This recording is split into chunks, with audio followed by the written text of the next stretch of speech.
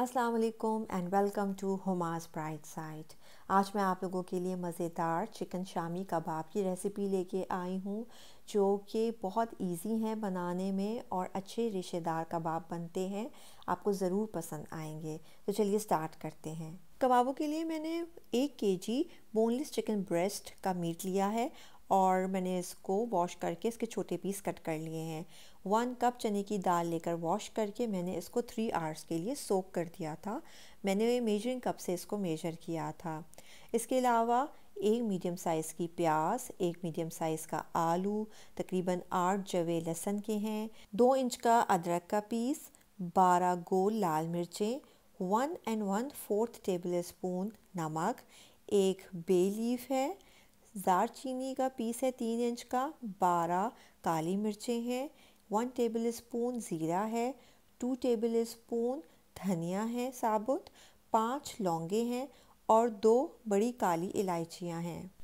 प्याज, आलू, लहसुन और अदरक को मैं छोटे पीस में कट करके और फिर ऐड करूँगी पैन में। मैं इंस्टेंट पॉट में अपना बैटर जो है वो रेडी करूँगी, आप पतीली में भी कर सकते हैं। अब पैन में हम चिकन और दाल को ऐड करेंगे। साबुत गरम मसाला जो है, वो मैं मलमल के कपड़े में डालकर उसकी पोट्री बना लूँगी और उसे शामिल करूँगी। क्योंकि गरम मसाला फिर बाद में अलग करना ज़रा मुश्किल हो जाता है और मटन की तरह चिकन को ज़रूरत नहीं होती चॉपर में ब्लेंड करने की, वो लकड़ी के चमचे से ही मलने से रेडी हो जाता है। अब पैन में हमने सारी चीज़ें डाल दी हैं अब मेजरिंग कप से आपने मेजर करके डेढ़ कप पानी का ऐड करना है। पानी ज़्यादा ऐड नहीं करना, आपके कबाबों का बैटर ख़राब हो जाएगा, वो बहुत सौगी से हो जाएँगे और फिर आपसे कबाब हैंडल नहीं होंगे। मैं 20 मिनट्स के लिए अपने इंस्टेंट पॉट में इसको प्रेशर कुक पे रेडी करूँगी। आप देख लीजिएगा पैन में ये तकरीबन 30 टू 45 मिनट्स लेंगे। मेरा 20 मिनट्स का टाइमर पूरा हो गया है। अब हम इसका बैटर चेक करते हैं। आप देख सकते हैं कि ये बैटर अभी भी कितना सौगी है, इसमें पानी है तो मैं इसको पैन में निकाल लूँगी और फिर हाई फ्लेम पे इसका पानी खुश कर दूँगी।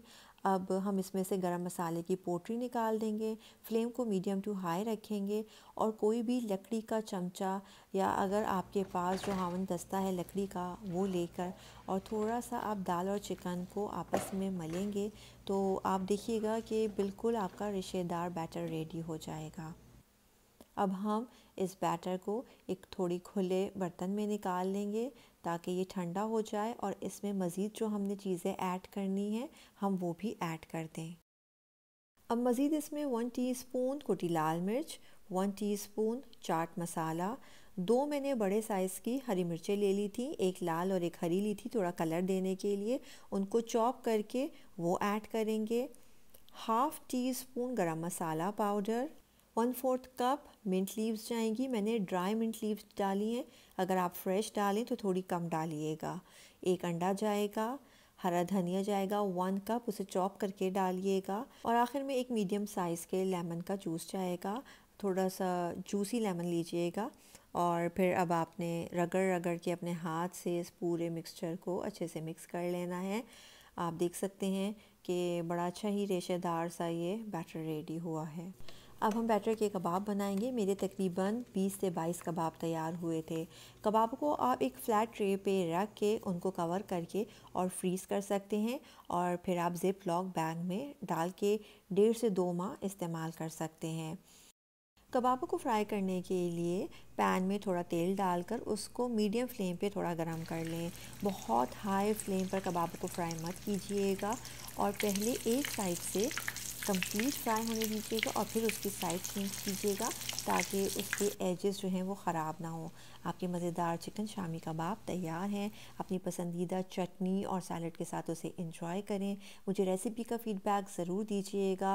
मेरी रेसिपी पसंद आए तो उसे लाइक और शेयर कीजिएगा और मेरे चैनल को ज़रूर सब्सक्राइब कीजिएगा। Thank you so much for watching Huma's bright side